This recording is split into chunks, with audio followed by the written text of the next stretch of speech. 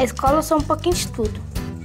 De manhã eu sou aluna. Por exemplo, hoje a professora passa muito texto. Eu não gosto. Mas meio-dia, há uma hora, eu sou dançarina. Aí depois eu fico na informática. Acho que as professoras também tem que ser legal, porque aí elas ensinam de um jeito mais bacana que a gente aprende mais fácil. Eu prefiro mais não fazer bagunça, mas tem vezes que não tem como. né?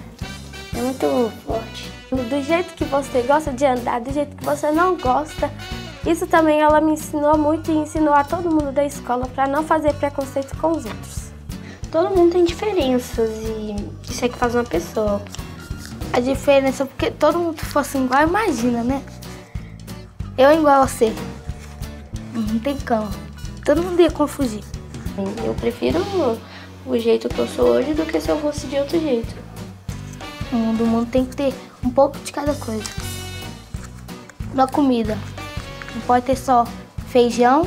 Imagina se o feijão fosse e o arroz fosse da mesma cor.